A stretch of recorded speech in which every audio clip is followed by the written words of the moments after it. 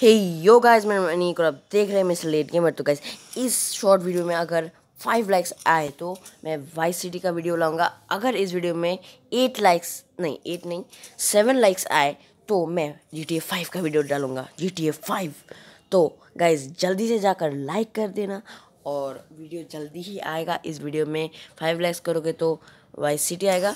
मुझे आज तक मतलब आज के आज ही चाहिए लाइक्स नहीं तो नहीं होगा ना।